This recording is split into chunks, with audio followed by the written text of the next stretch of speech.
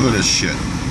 Having a cookout on the sidewalk, a yard sale, and drug trafficking all in one. Now, you tell me there's nothing wrong with this fucking town, right? This shit's sickening. It's crazy, you know?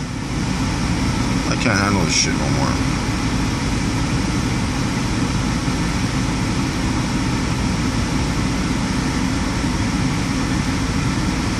Pure ghetto. And I want my children living next door to this shit, in and out of the house dealing drugs,